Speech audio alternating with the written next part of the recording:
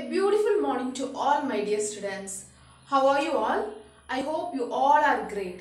Yes students, in our last class we learned about rotation and revolution of earth. Yes students, what is rotation of earth? Yes, the slow movement of earth on its imaginary axis. Okay, the slow movement of earth on its imaginary axis is called rotation.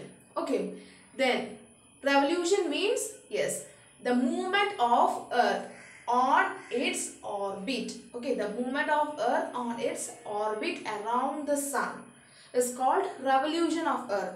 Yes, students, that we all know rotation and revolution of earth. Yes, students, today we are going to learn about seasons. Students, we all know summer season, winter season, spring season, autumn season. Is it? Yes, students, what causes seasons? Yes, seasons are caused by the revolution of the earth around the sun. Okay, seasons are caused by the revolution of the earth around the sun. Okay, all of you clear? Yes, students, we all know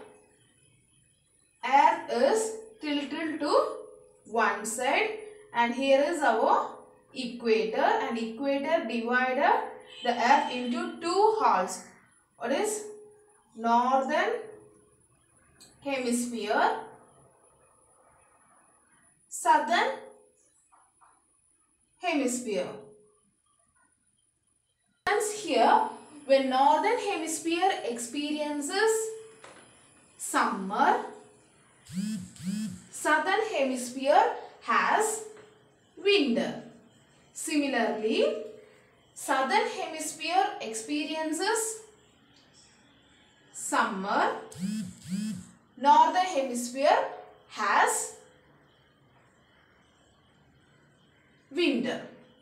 Yes students, there are also other reasons for seasonal change. Okay students, I already told seasons are caused by the revolution of the earth around the sun.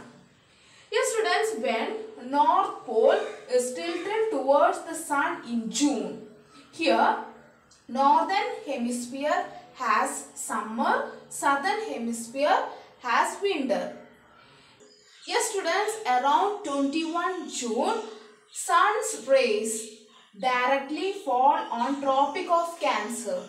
Yes, we all know some important latitudes that is Arctic Circle, Tropic of Cancer, Equator, Tropic of Capricorn, Antarctic Circle.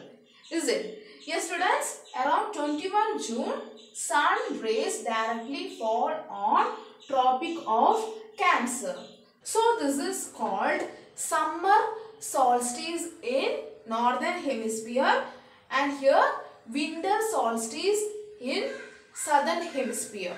Students, June 21, it is the longest day of the year in the northern hemisphere. That means longest day means here day more, night is less. Okay, day is more, night is less. Okay, then uh, shortest day of the year in southern hemisphere. Okay, here night is more, day is less. Okay, all of you clear. So June, June 21 is the longest day of the year in northern hemisphere and June 21 is the shortest day of the year in southern hemisphere.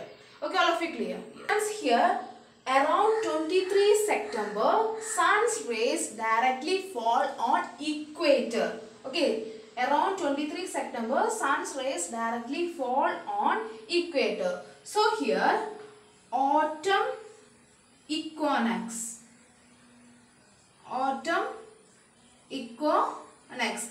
Here equinox means equal lengths of the day and night all over the world. Here day and, day and night are equal. Okay, all of you clear? Here uh, South Pole is South Pole is tilted towards the sun in 21 December. So here Northern Hemisphere has winter, Southern Hemisphere has summer. Okay, here South Pole is tilted towards the sun in December 21. So, South Southern Hemisphere has summer, Northern Hemisphere has winter. Okay, all of you clear? Yes, students, around 21 December, sun's rays directly fall on Tropic of Capricorn. Okay, so as we all know, uh, important latitudes. Here, 20 around 21 December, sun's rays directly fall on Tropic of Capricorn.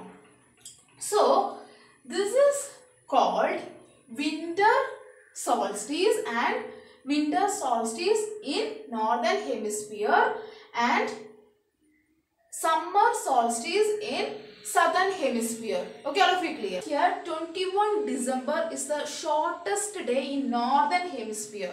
Okay, shortest day in northern hemisphere. That is, uh, shortest day means day is less, night is more in northern hemisphere.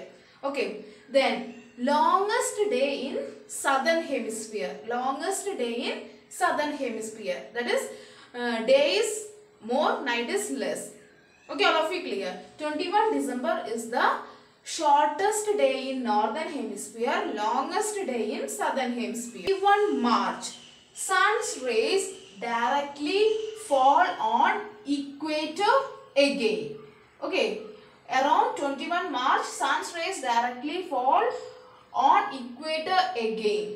So this is spring equinox. Yes, we all know equinox means is the equal lengths of the day and night all over the world. Okay, all of you clear? Seasons are caused by the revolution of the earth around the sun. Okay, okay students, we will see in our next class. Thank you.